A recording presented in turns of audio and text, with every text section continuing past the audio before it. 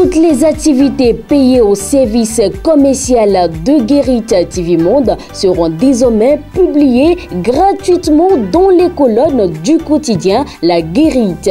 Pour plus d'informations, appelez le 00229 91 19 10 10. Guérit TV Monde, le leader des Web TV.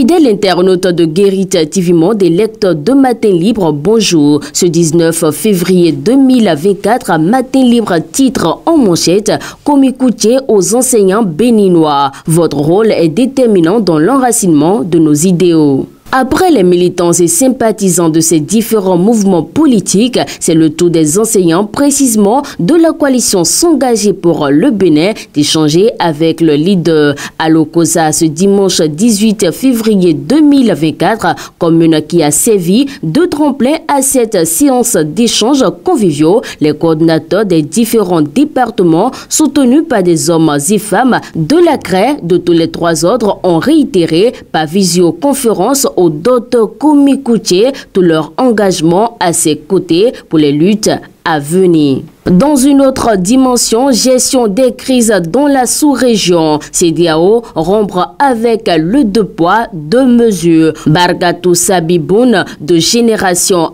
Ivor contribue au débat. La CDAO doit-elle abandonner sa vocation de gendarme dans la démocratie? À cette question que pose le chef de l'État, Barkatou Sabiboun répond non. Mais que doit alors faire la CDAO pour répondre aux aspirations profondes des peuples des États membres? Génération Ivor, à travers la plume de Barkatou Sabiboun, contribue au débat et donne à Patrice Talon les leviers sur lesquels il faut agir pour préserver l'idée voulu par les pères fondateurs de la CDAO. À lire son analyse dans les colonnes de Maté Libre. Et pour terminer, piratage audiovisuel au Bénin, quand la technologie menace l'industrie et la sécurité des consommateurs. La révolution technologique a apporté de nombreux avantages à notre société, mais elle a également ouvert la porte à de nouvelles formes de criminalité. L'une d'entre elles qu'on sous-estime souvent est le piratage